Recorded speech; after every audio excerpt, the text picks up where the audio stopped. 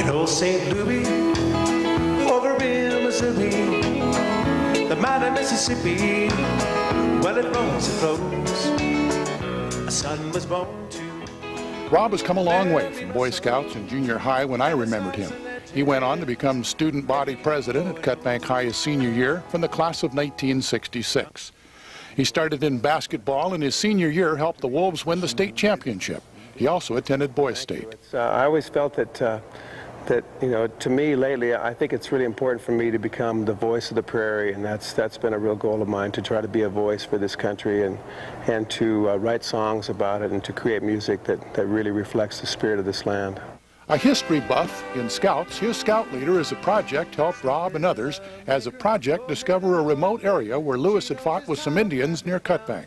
Hiked into the site, took a tree surgeon specialist with us to verify the three cottonwood trees and, uh, and discovered the fight site, which is now a National Historic Landmark.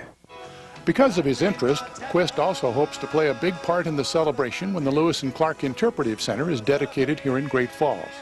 And Rob also stressed the importance of the white man listening to and studying the ways of the American Indian. I think what we need to do, though, is to is to really learn a lot from the spirituality of, of the Indian people and incorporate that into our society so we can continue to grow.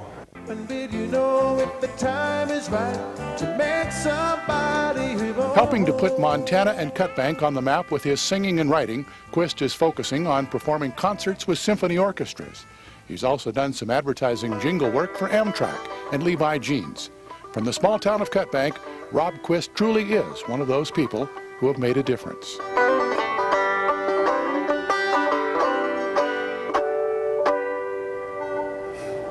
Good job, Rob. Thank you.